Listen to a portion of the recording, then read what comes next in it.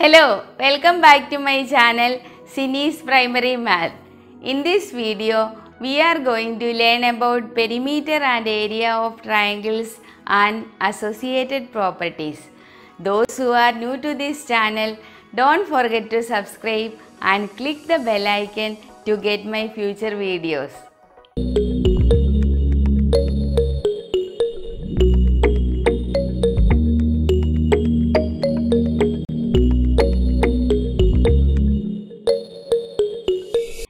We know a triangle is a closed two-dimensional figure which is formed by three line segments. Look at the triangle ABC shown. Every triangle has three sides and three vertices. A base is one side of a triangle usually taken as a reference side for other measurements. The base of a triangle can be any one of the three sides, usually the one drawn at the bottom. Altitude The perpendicular line segment from a vertex of a triangle to its opposite side is called an altitude of the triangle, also called height of a triangle. Here, the line segment AL is an altitude of the triangle. Since there are three sides, so three bases. Therefore, the triangle has three altitudes. The three altitudes intersect at a single point called the orthocenter of the triangle. The position of the orthocenter may be inside or outside the triangle depending on the types of triangles. Median the line segment joining a vertex of a triangle to the midpoint of its opposite side is called a median of the triangle. The line segment AD is a median of the triangle. A triangle has three medians. The three medians intersect at a single point called the centroid of the triangle. The centroid is always inside the triangle. Perimeter The perimeter of a triangle is the total length of its boundary. Therefore, the perimeter of a triangle is the sum of the lengths of its three sides whether they are equal or unequal.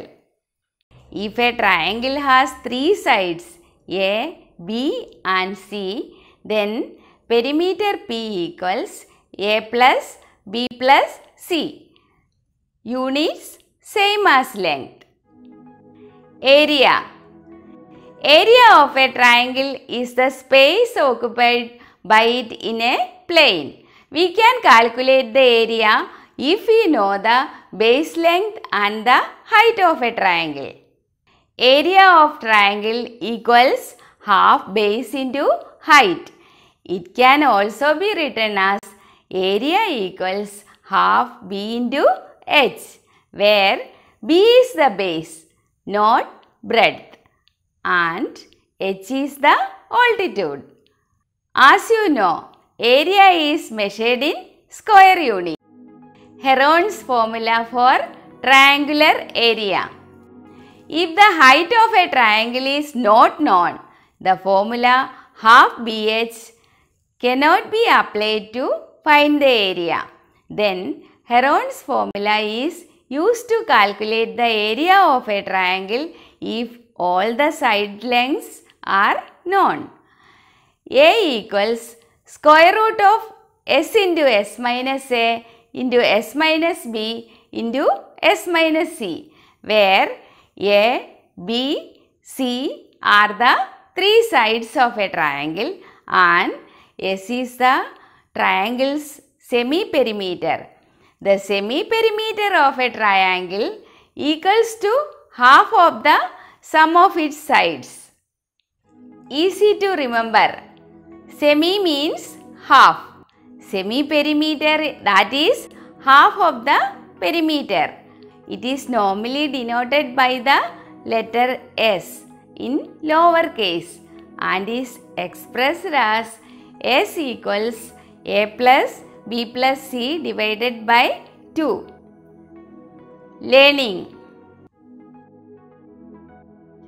Hope you are now familiar with perimeter and area of triangles. I know you are interested to learn more about triangles to make your concepts clear. Sure, I will be back with another video on this topic. Thanks for watching. Please like, subscribe and share this video. Till then, bye.